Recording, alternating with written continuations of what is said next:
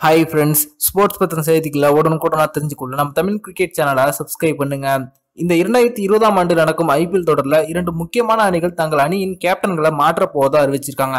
அது பத்தின முழுமையான விவரத்தை பார்ப்போம். இது வரைக்கும் நடந்து முடிந்திருக்கும் ஐபிஎல் தொடர்களில் Royal Challengers Bangalore Kings Eleven Punjab Delhi Capitals போன்ற அணிகள் தான் ஒரு முறை கூட கோப்பையை கைப்பற்றியது கிடையாது அதனால இந்த அணிகள் எல்லாம் ஒரு ஒரு வருஷமும் அதிரடியான மாற்றங்களை செயல்படுத்தி தான் வந்துகிட்டு தான் இருக்காங்க. அதன்படி பார்த்தீங்கன்னா தற்போது இரண்டு அணிகள் தங்களுடைய கேப்டன்களை மாற்ற போறாங்களாம். அதுல முதலாவதா கிங்ஸ் லெவன் பஞ்சாப் அணி. அந்த அணியின் கேப்டனா இருக்கக்கூடிய ரவிச்சந்திரன் அஸ்வினை கேப்டன் பதவியில இருந்து நீக்கியது மட்டும் இல்லாம முழுமையா அணியிலிருந்து விடுவிப்பதாகவும் அறிவிச்சிருக்காங்க. அது மட்டும் இல்லாது ரவிச்சந்திரன் அஸ்வினை தற்போது டெல்லி கேபிட்டல்ஸ் அணி ட்ரேட் முறையில வீரர்கள் பரிமாற்றிக் கொள்வதற்கு ஆர்வம் காட்டுற தகவல் வந்திருக்கு. அவங்க மட்டும் இல்லாம Rajasthan Royals Chennai Super Kings போன்ற அணிகளும் ரவிச்சந்திரன் அஸ்வினை ஏலத்தில் எடுக்கிறதுக்கு ஆர்வம் காட்டுறாங்களாம். கடந்த இரண்டாயிரத்தி பதினெட்டாம் ஆண்டு கிங்ஸ் பஞ்சாப் அணியை ஓரளவு சிறப்பாக வழிநடத்திய அஸ்வின் இந்த இரண்டாயிரத்தி பத்தொன்பதாம் ஆண்டில் ரொம்பவே மோசமா செயல்பட்டாங்க அப்படின்னே சொல்லலாம்.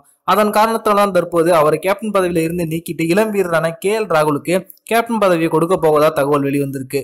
கடந்த இரண்டாயிரத்தி பதினெட்டாம் ஆண்டு ரவிச்சந்திரன் அஸ்வின் கிங்ஸ் லெவன் பஞ்சாப் அணிக்காக ஏழு புள்ளி ஆறு கோடி ரூபாய்க்கு ஏலத்தில் எடுக்கப்பட்டு அவங்க அந்த அணிக்கு கேப்டனாகவும் நியமிக்கப்பட்டாங்க. அதே போல மற்றொரு அணியான கொல்கத்தா நைட் ரைடர்ஸ். இந்த அணியோட கேப்டன் பாத்தீங்கன்னா இவரும் தமிழக வீரர் தினேஷ் கார்த்திக் தான். இந்த இரண்டாயிரத்தி பத்தொன்பதாம் ஆண்டுல ஆரம்பத்தில் நடந்த ஐபிஎல் போட்டிகள்ல வரிசையா வெற்றிகளை குவிச்சிருந்தாலும் கொல்கத்தா நைட் ரைடர்ஸ் அடுத்தடுத்து வர அந்த போட்டிகள்ல எல்லாமே மோசமான தோல்விகளை சந்திச்சாங்க. இதுல அந்த அணியின் அதிரடி ஆல்ரவுண்டரான ரசல் வெளிப்படையாகவே பேட்டி கொடுத்தாரு அதாவது தினேஷ் கார்த்திக்கோட கேப்டன்ஷிப் சரியில்லை. எல்லா போட்டிகள்லையுமே என்ன கடைசி நேரத்துல இறக்கி விட்டு முழு பிரஷரையும் என் மேல இறக்குறாங்க.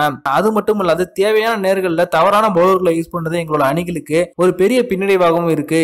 எவ்வளவோ சொல்லியும் அதையெல்லாம் யாரும் கேட்க மாட்டாங்க அப்படி சொல்லியிருந்தாங்க. அதே போல தினேஷ் கார்த்திக் பேட்டி கொடுக்கும்போதும் அணியோட நிர்வாகத்துக்குள்ள ஒற்றுமை இல்லை அப்படின்னு சொல்லியிருந்தாங்க.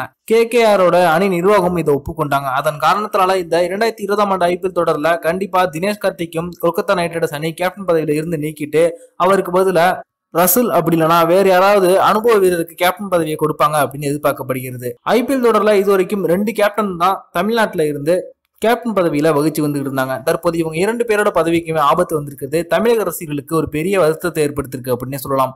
இவங்க இரண்டு பேரையும் கேப்டன் பதவியில இருந்து நீக்கிட்டாங்க அப்படின்னா அவங்க வேற எந்த அணிகளுக்கு விளையாண்டா அது நல்லா இருக்கும். அதே போல இவங்களுக்கு பதிலாக எந்த ஒரு வீரரை கேப்டன் பதவியில நியமிச்சா அது அந்த அணிக்கு கூடுதல் பலமா இருக்கும் அப்படின்ற உங்களோட கருத்தை கீழே கமெண்ட்ல லீவ் பண்ணுங்க. இந்த வீடியோ உங்களுக்கு பிடிச்சிருந்துச்சுன்னா லைக் பண்ணுங்க ஷேர் பண்ணுங்க. நன்றி.